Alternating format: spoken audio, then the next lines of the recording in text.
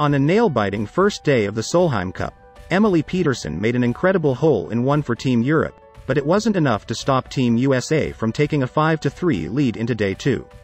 In the morning foursomes, where players of each pair swap shots with one ball, the USA swept its opponent to establish an early 4-0 lead. For the first time in Solheim Cup history, the USA won a foursomes session by a score of 4-0. However, Europe narrowed the deficit to just two points in the afternoon fourballs, a style in which each golfer hits their own ball and records the pair's lowest score on each hole.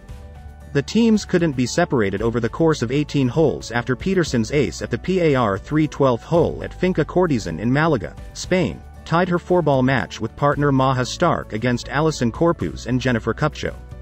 On the 18th hole, there was some late drama as Team Europe's Georgia Hall and Leona Maguire scored a stunning chip in to defeat Team America's Lexi Thompson and Lilia Vu and snag a point.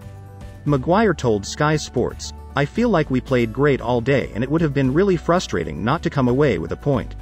So Georgia managed to maintain order on the front nine, and I had a few on the back. The Americans played incredibly this morning, without a doubt. We performed well and shown our perseverance on the field today. It was both of us 36th holes of the day, so we were definitely feeling it, but Leona's shot on the last was incredible and exactly what we needed, said Hall. That's why she is such a terrific player at Solheim. However, Pedersen's hole-in-one, the second in Solheim Cup history, stood out on a day that was undoubtedly not lacking in impressive shots. A jubilant crowd let out loud whoops and applause as the ball fell into the cup after rolling down from the bank to the left of the green.